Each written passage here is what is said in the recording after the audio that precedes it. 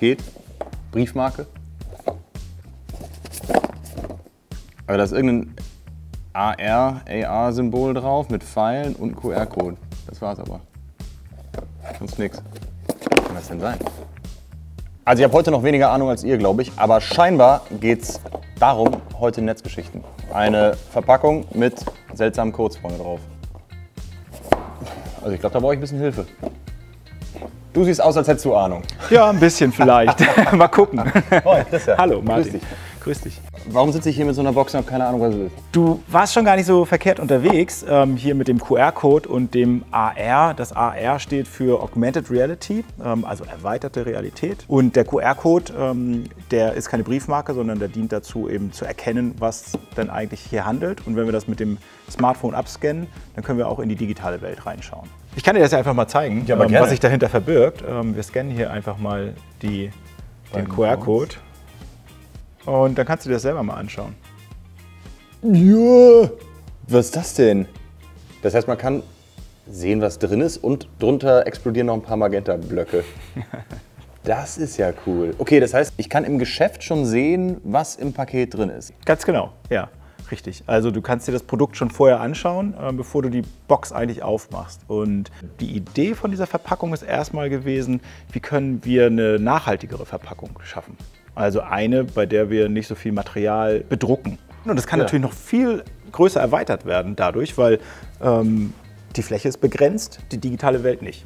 Wie funktioniert es denn jetzt genau? Man hat einen QR-Code und da sind dann alle Daten von dem Paketinhalt drin, oder wie?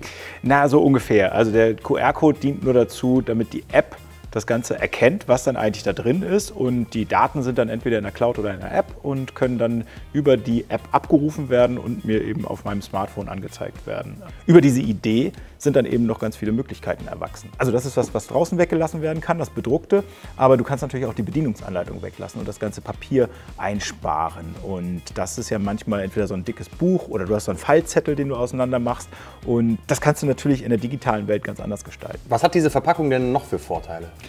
Ein ganz großer Vorteil ist natürlich noch, dass man das auch global anbieten kann mit einer Verpackung für alle Länder, die ich bediene. Du, hast, ähm, du weißt eigentlich immer, wo dieses Paket gerade zum Einsatz kommt. Ähm, es sieht immer gleich aus, ähm, nur die Veränderung findet in der- in der digitalen Welt statt. Und damit kannst du natürlich dann eigentlich alle Sprachen abbilden. Und dann gibt es ja auch ähm, den sogenannten Unboxing Moment. Also das heißt, wenn ich das erste Mal mein neues Gerät auspacke und mich sozusagen emotional auch damit ähm, auseinandersetze. Ja. Was ist das denn? Ähm, wenn ich jetzt hier so das Paket aufmache, dann kommt mir ja nicht das Produkt entgegengeflogen, aber Ja. in der digitalen Welt können wir das natürlich hervorheben und es so eine kleine Explosion geben. Und schon cool. ähm, das sieht halt ganz anders aus. Also echt eine ganz schön nachhaltige Geschichte. Äh, vielen, vielen Dank, dass du heute dieses Rätsel für mich gelöst hast. Martin. Im Schnitt verbraucht jeder deutsche Bundesbürger im Jahr ungefähr 227 Kilo Verpackungsmaterial. Und da ist jedes gesparte Gramm doch echt schon mal ein Gewinn, oder? Was haltet ihr von der Idee? Schreibt's doch mal unten in die Kommentare. Ansonsten gilt wie immer, Kanal abonnieren nicht vergessen und dann sehen wir uns nächsten Donnerstag wieder. Hier bei den Netzgeschichten. Ups.